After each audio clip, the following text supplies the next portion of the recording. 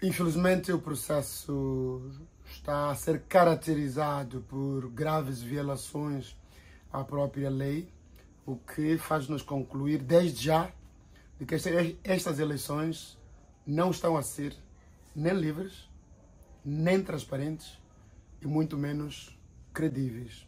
Portanto, há erros de les a les, de ponta a ponta.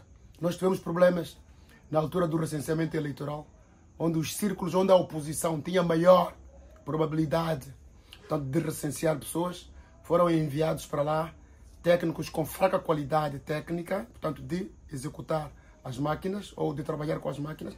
Foram enviadas máquinas de segunda mão obsoletas com o único intuito de reduzir a quantidade de pessoas ou o número de pessoas eh, recenseadas e que, portanto, teriam direito a voto nessa altura. Depois tivemos também irregularidades na altura da campanha eleitoral. Sabemos todos nós de que, pelo menos os órgãos de informação públicos deram grande primazia ao partido no poder, que é o partido Frelimo. Por exemplo, a televisão de Moçambique, que é a televisão pública, deu uma jornalista, deu um cameraman e uma câmara e um carro durante todo o período da campanha para cobrir apenas a esposa de um dos candidatos. Ora, a presidente da República, ora, nós tínhamos quatro candidatos. Se a TVM, que é uma televisão pública, queria alocar jornalistas a os candidatos presidenciais, deveria ter arranjado no mínimo quatro equipas, cada uma a cobrir um dos candidatos. Isso é que seria igualdade de oportunidades. Ora, ao dar apenas um, está a discriminar os outros três.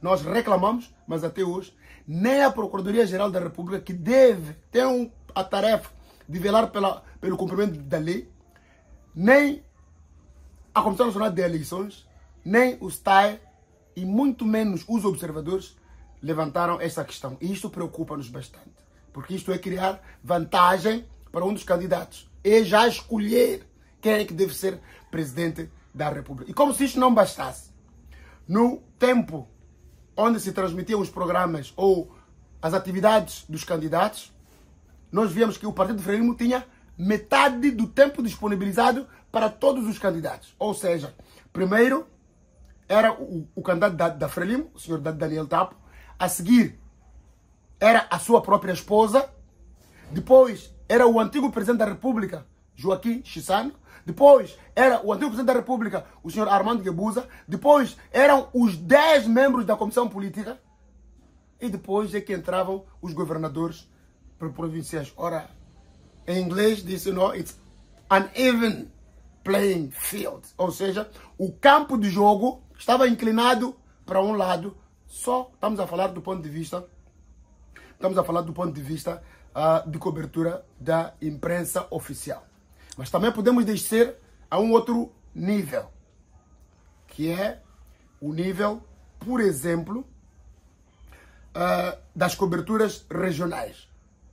Todos os candidatos da Frelimo nas províncias, por exemplo, a governador ou os chefes das brigadas centrais, tinham uma maior cobertura dos órgãos públicos do que os outros candidatos. Quer dizer, no lugar de apresentar o candidato da Frelimo, da Renamo e os outros, havia sempre uma primazia para aqueles que faziam parte uh, do partido no, no, no poder. Okay. Em segundo lugar, no próprio dia da votação, como testemunham, hoje felizmente temos as redes sociais, estão lá centenas de vídeos. E o grande problema que nós queremos colocar aqui é que está mais que provado, o mesmo aconteceu nas eleições de 2023, de que há um circuito paralelo de boletins de voto nós aqui na cidade de Climane temos em nosso poder 117 votos originais que os nossos homens descobriram no STAI, nos armazéns do, do, do, do STAI. A pergunta é, como é que há boletins oficiais fora do circuito normal? Nós exigimos que haja um... Ah, primeiro, a Procuradoria-Geral da República que instaure um inquérito. Segundo, que seja criada uma comissão independente de inquérito para averiguar, desde a produção até a, di a distribuição, as falhas que existem nesse processo. e se não foi de forma dolosa, de forma voluntária, o desvio desses boletins. Nós também encontramos vários cidadãos, todos pertencentes ao Partido Frelimo, com boletins extra. Portanto, eles têm um circuito extra para a produção e distribuição dos boletins de voto. Se nós acrescentarmos a isso a questão da ranhura, que é ilegal, a lei diz que há um certo tipo de ranhura que deveria estar nas cabines de voto. Mas o que, o, que, o, o, o que nós encontramos não é aquilo que está preconizado na lei. Okay. Portanto, e, e, e, mesmo agora, houve um, uma estratégia que a Frelimo usou em todas as mesas para influenciar o resultado da, da, das eleições, que, que é uma forma de fraude. As eleições, ou seja, as cabines de votação encerraram ontem às 18 horas. Mas algumas atas só foram assinadas hoje. 48 horas depois, havia atas que ainda não estavam assinadas. Porque eles estavam à procura de uma janela para poder introduzir esses votos. Não faz sentido que uma Assembleia que fechou antes de ontem, às 18 horas, tenha chegado 48 horas depois sem a produção das atas. Okay. E nós temos isso a repetir-se em vários sítios. No posto campo, em Mopé, por exemplo, não entregaram as atas aos delegados de candidatura, alegando que estavam com pressa. Okay. Portanto, o que é um crime eleitoral. Também queria lhe mostrar a questão, por exemplo, do Gilé, onde 19 mesas não puderam votar o povo foi proibido de exercer o seu direito à votação. Na Magaja da Costa, mais de 10 mesas. Eles só reconhecem quatro. Mas, para além disso, aqui na cidade de Climane, na escola secundária Felipe News, mais de 500 pessoas não puderam exercer o seu direito de voto, apesar de terem exibido os cartões de votação. O que, que aconteceu? Ninguém nos explica. Por que, é que os nomes daqueles senhores não estavam lá? não estavam inscritos no caderno. E como é que eles tiveram os cartões de recenseamento se os nomes não estavam lá? Qual é o problema? Há um circuito paralelo de impressão de cartões fora do registro? Ou alguém foi adulterar as listas para apagar algumas pessoas? Essa é a pergunta que fica. E alguém tem que responder. Porque isso viola o direito fundamental direito constitucional de eleger e de ser eleito de milhares de concidadãos. Ora, a CNE deliberou que deve haver uma repetição no Gilé e na Magaja da Costa. Nós concordamos com a repetição. Mas a minha pergunta é: por que, que é uma repetição? Porque há cerca de 5 mil pessoas que não votaram, quando há mais de 10 mil pessoas que não puderam votar também, porque os seus nomes não estavam lá. O que, é que vai ser feito dessas pessoas? Por que, que os moçambicanos têm mais direitos que os outros? Por que, que é cidadãos da primeira e da segunda? Por que, que a CNE está preocupada com a questão geográfica, física de mesas e não com os números? Não deveriam só ser 19 mesas.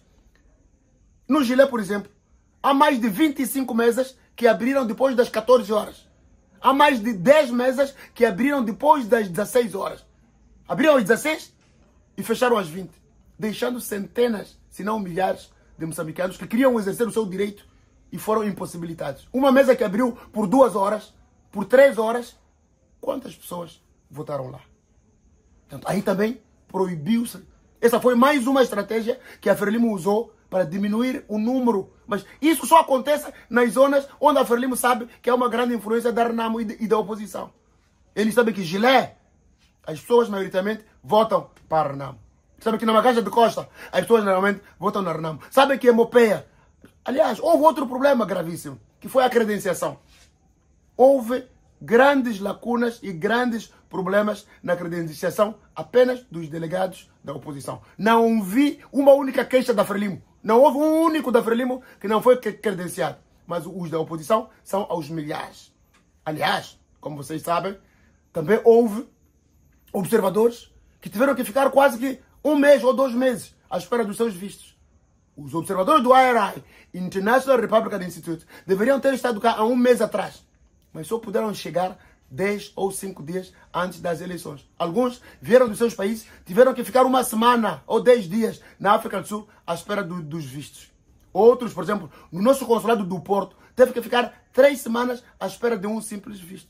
O mesmo aconteceu nos Estados Unidos da, da, da, América, onde houve um observador que teve que deram-lhe um visto de curto prazo, teve que vir para Moçambique, fazer o seu trabalho durante 10 dias, voltar para os Estados Unidos para ter o outro visto, para depois vir cá trabalhar. Isso primeiro encarece o processo de observação eleitoral. Mas tudo isso são manobras que a Frelimo usa, usa o governo, usa as embaixadas,